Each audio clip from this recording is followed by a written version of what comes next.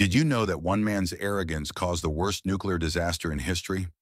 At 1.23 a.m. on April 26, 1986, Anatoly Dyatlov ordered his team to begin a fatal reactor test. It was supposed to be routine, just another night shift at Chernobyl nuclear power plant.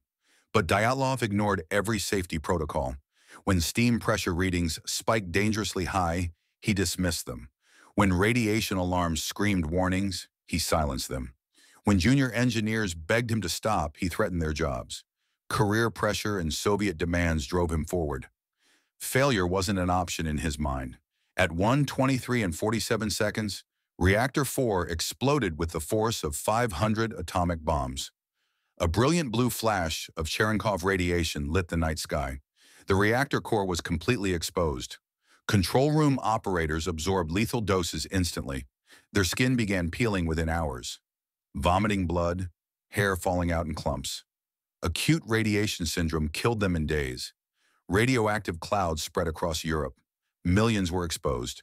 One man's pride poisoned a continent.